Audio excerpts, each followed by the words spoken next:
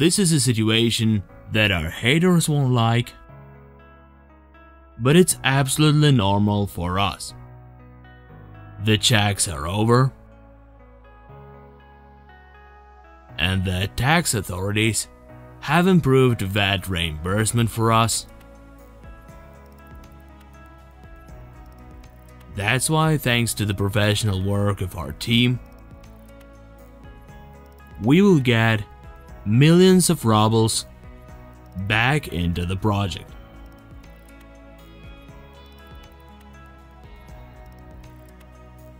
This is good news.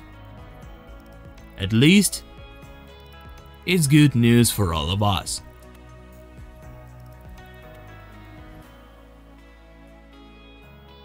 Speaking the language of the tax authorities and regulatory bodies, our project, our company, Triple O Sovelmash, is now in the green zone.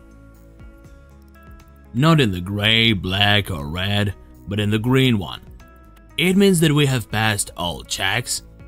There are no comments or claims to us. No faults, no doubts. No illegal or dubious activity.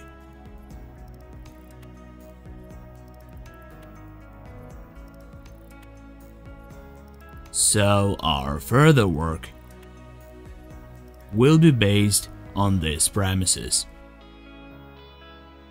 I suppose that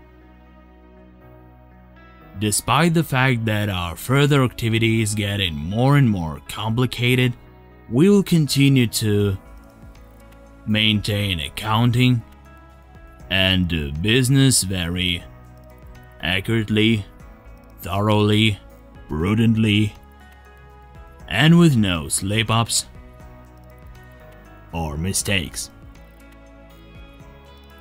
And we will be conscientious taxpayers.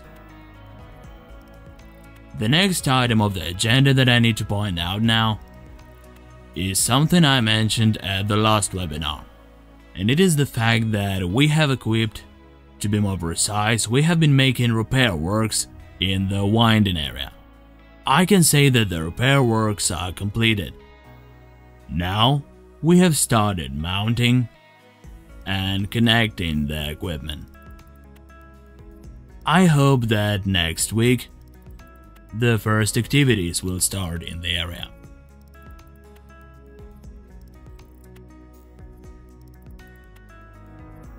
We have all premises for that. The work is being done in accordance with the plan and depends on us only, so there are no delays here. It will allow to reduce the load in the laser cutting and metal processing area, because now the area is very cluttered up. The equipment is stacked, it became almost part of the storage facilities. We have quite serious shortage of premises, and it curbs our capabilities in shaping and extending our team. We can't hire a person just like that. We need to provide the employee with a workspace, PC, so that it is comfortable to work. Now we're experiencing very serious shortage of premises. And at the same time, we lack professionals in certain areas.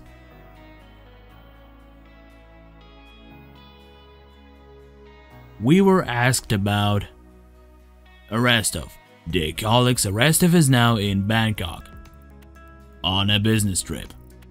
When he gets back, he'll get in touch with us and the activities will continue.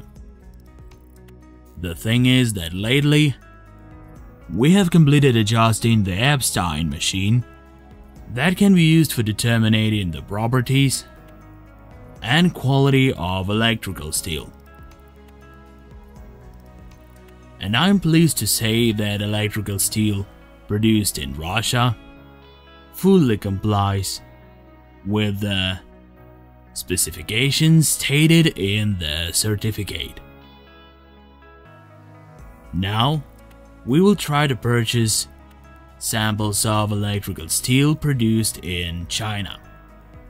We will do it in order to choose the best alternative to the Russian steel we used for our motors to continue working on producing the first batch of motors developed by us.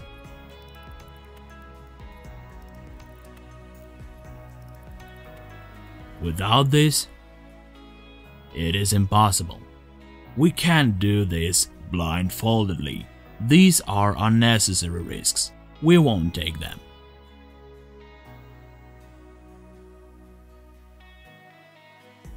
And we have one more question.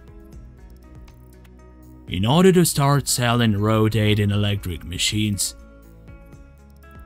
produced in partnership with China or with a Russian enterprise, we need to certify these motors. To undergo certification, we need to make prototype models and maintenance documentation and other accompanying documents, not to mention specifications and everything else. And the issue is the following. The operating instructions manual is a rather serious document. It's not when you buy motors and it has something attached to the nameplate or a piece of paper put right under the box. This is a serious document consisting of 60-70 A4 pages the result of in-depth research. This is rather serious work. This work is being done, the preparatory activities. At the same time, in order to be able to certify, we need to complete all external laboratory certification activities. Everything has been done for that. We have checked the insulation resistance, earth resistance, confirmed the properties of power supply mains, and so on. All the requirements have been met, all documents have been submitted. As I said at the last webinar, we are waiting for the decision on this issue. One week is over, there is one more week to go. And we also need to make a serious tap to document the batch production, we need to organize quality management. This is the so-called quality management, as it is called in the West. It is specified in GOSTs, state standards, everywhere.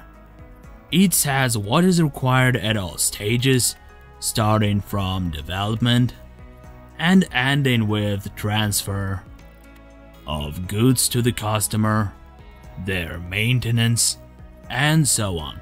The control is required at all stages and it's necessary to specify how and what procedures have been completed for that. We need to organize and complete the stages. And this is the laboratory where motors are tested. It's a high quality laboratory fitted with the equipment that has been checked. It has external certification, qualified workers, and this is one of the aspects of quality management. Another aspect is complying with the requirements of existing GOSTs, both Russian and international requirements. All this work is being completed simultaneously with the technical, organizational, and financial issues. That's why I hope that we will succeed in completing this work. Anyway, we have successfully dealt with all other tasks, and the first shipment